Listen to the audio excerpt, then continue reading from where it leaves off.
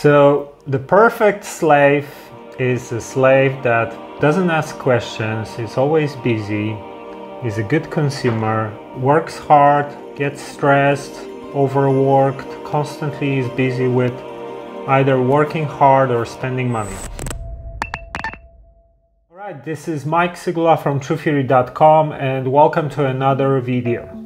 So today we are talking about control of perception. So, control of perception and mind control tricks are common techniques that are used to influence masses, to control how people behave. And this is a big topic, and there are many elements to it.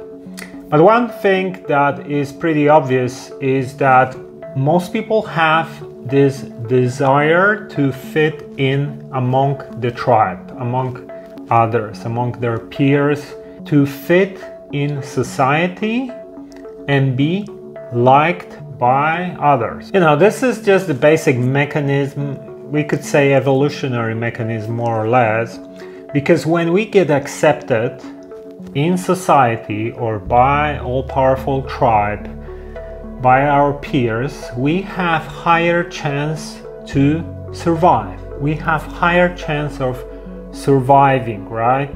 Known fact. And if we stand out, we prove that we have dominance and we get even more accepted and respected, right? Same thing as for thousands of years.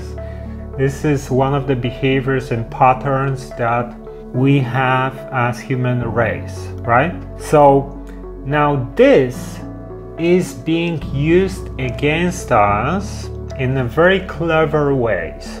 So this is what we're gonna talk about today. So first thing is creating the feeling of guilt when someone is questioning narratives, right? So if you have mainstream narrative that is coming from some kind of authority, corporation, government, scientific organization group, whatever it is, big pharma. And this is being pushed as the norm, as the truth, and you have someone who starts investigating and starts finding some flaws in the narrative, right? But this is the main narrative. It's being pushed everywhere by the media. And if person starts digging and finding flaws and asking questions, the best way to make them sit quietly is to ridicule them, right? To call them crazy conspiracy theorists, right? You know, why why this is like the easiest the simplest method to make people not investigate and question the narrative because obviously what we said, we want to be accepted by others, right? So if I'm being labeled as some kind of quack, crazy person, whatever it is, by the all powerful tribe, then, you know, I don't feel good about myself. I get ridiculed. I don't want to be ridiculed by others, right? I want to fit in, I want to be liked by others. So, this is a simple method that is used by propagandists to keep population under control and not investigate, not ask questions, not think for themselves. And another thing about it that works really well for them, for the propagandists, is that what happens is that people, average population, they start policing themselves, right? So I talked about a little bit before, but basically, let's take an example. You remember how at the beginning of our pandemic, the official story was that you know the virus came from from the wet market, most likely from the bat or pangolin. And if anyone said anything different to that, they were labeled as crazy conspiracy theorists. Some people or scientists even had slightly different view about it. Maybe it was a leak from the lab, but the narrative said No, this is what we know and this is the truth. And everyone who is questioning that gets ridiculed, labeled crazy, blah, blah, blah, blah. A few months later, Biden talks officially about the other side as a possibility. Suddenly, everything changes, you know, and this is getting accepted, right? But in that given moment, you are not allowed to question, you are not allowed to research, and if you do, you are labeled crazy, right? Conspiracy theorist. So this is an example, and uh, the way it works in in given moment is that, you know, if I'm starting to question things, and suddenly people and media says different thing, and they say that people like myself are crazy conspiracy theorists, then uh, other people they don't want to associate themselves with someone like me. Maybe they not gonna try to look into it because they don't want to be labeled as crazy, right? They want to fit, they want to be liked by the tribe. So, creating ridicule directed towards people who question narratives, this is how this is being manipulated and used. This is how this is used to control public perception, right? You know, don't don't listen to Joe Rogan. He's giving voice to other group of experts no, no, no. Don't get informed about the other side of the story. Just listen to us, right? This is this is this is how it worked in the past. Basically, the tribe police themselves, right? Because people ridicule other people for trying to just be a critical thinker and inquire and ask questions, right? Oh, don't don't don't look there you don't want to be labeled as crazy conspiracy theorist, right? so this is this is the technique basically creating the feelings of shame and guilt when someone is investigating or asking questions right so another way how this method of shaming others is used is for example when there are norms in society such as financial status, what it means to be successful. Generally, success in our society means, I don't know, be a CEO of tech company and be a gazillionaire. That means you are the most successful ever, right? And these guys are heroes, right? But everyone is different, first thing, right? So, why, if you are completely different and you want to pursue a different path in life, why you should be ashamed of choosing something that maybe doesn't generate as much money? You know, why even say that these guys are some kind of heroes if they are just exploiting the masses for their own selfish reasons, you know? Or they are destroying the planet exploiting resources, workforce, all in the name of greed, consumerism, and ego. This is called success in our world, right? the more you destroy the planet to create a lot of crap that we can live probably without, the more successful you are, right? This is more or less the narrative. And I think people shouldn't be ashamed that maybe the finances or financial status is not the most important thing for them, right? You know, but this is being promoted that you are either, you know, focusing on making as much money as possible or you are a loser, right? Everyone else is a loser. This is being pushed and promoted. Why this is actually pushed and promoted in society? There are a couple of reasons. So, the perfect slave is a slave that doesn't ask questions, is always busy, is a good consumer, works hard, gets stressed, overworked, constantly is busy with either working hard or spending money and consuming. So, this is how the economy can work and how people can be exploited and used as slaves.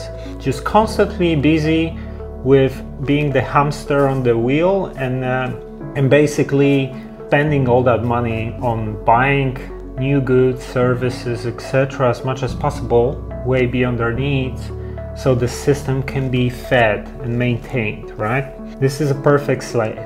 Perfect slave is too busy to investigate, ask questions, and uh, think for themselves, right? they are too stressed as well to think critically as well. It's hard to make rational decisions if you are constantly overworked and stressed or fed with some distractions and entertainment, right? Another thing about it is that, you know, perfect slaves are often unhappy because of this system, right? So, for example, someone who maybe is talented in one specific area decides to focus on something completely different because the society says this is what you should do or this is going to make you financially wealthy whatever it is and then the person instead of cultivating their own gifts and talents and living their passion and purpose and being happy and satisfied and fulfilled they choose something completely different which makes them miserable makes them more money so they can spend more when they are unhappy and they feed to the system once again. So this is why some of these things are being pushed and promoted. You know, keeping slaves in fear, unhappy, miserable, this is what the system does and likes the most. So, using shame to influence how people behave is applied in many different ways and another has to do with external look, right? So this is very common in how corporations create image of female that is unreachable, right? So for example, you know, magazines, advertising, social media, we see models that look perfect, but these beauty standards are unrealistic, right? They have Photoshop filters, you know, and editing, tons of makeup, plastic surgery, perfect picture done by a professional photographer or selected out of maybe 50 different photographs to make someone look perfect.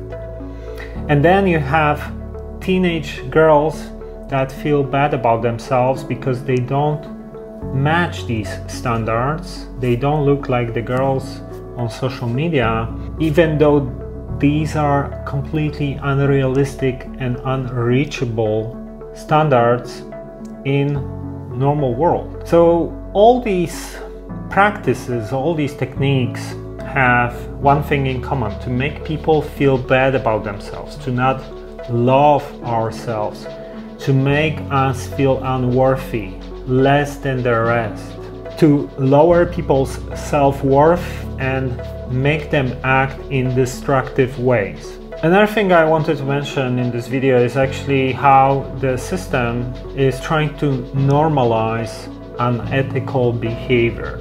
And this is done through, for example, using words that hide the real meaning. So one of the areas that I can use here as an example is porn industry, right? Basically, porn is just glorified prostitution where you have a bunch of uh, sexual predators that found ways to fulfill their sexual needs and addiction habits and make money out of it while exploiting people and destroying people's lives, right? But it's being glorified and promoted as something normal and even accessible to everyone to encourage people to use it to encourage women to participate etc you know we're not going to be going into details here how the industry works. I'm sure many of you are familiar that you know it's a chain of very very dark things happening there. If you look at who are the people behind what kind of things they were involved in, you know, trafficking, uh, exploitation of, you know, underage women, etc. All sorts of uh, very negative, very dark things happening in that industry, but it's being pushed and normalized, right, and made accessible to everyone, you know, with the computer and internet, even teenagers, right? So, you know, an example of how this is being normalized and, and wording is used to hide the truth is, for example, how like women taking part, they are called porn stars, right? They're stars. They're celebrities. They're, you know, actresses, models, performers, instead of being called, know, hookers or prostitutes or something like that, right?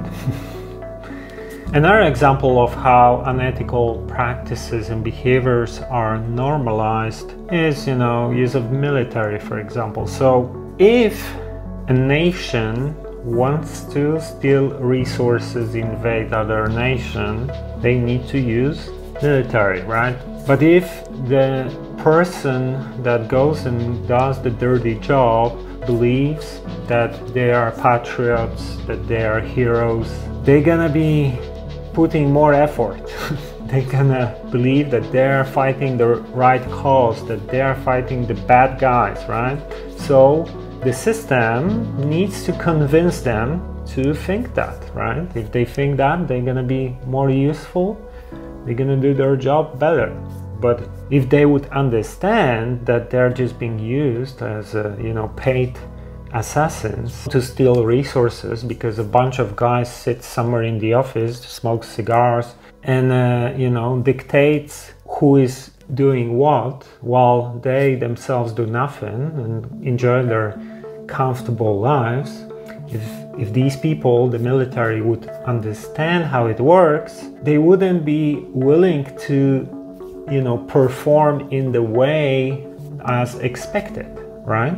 So they need to be convinced and brainwashed to think that they are heroes, that they're fighting the bad guys, that they are, you know, patriots doing something for the great good, right?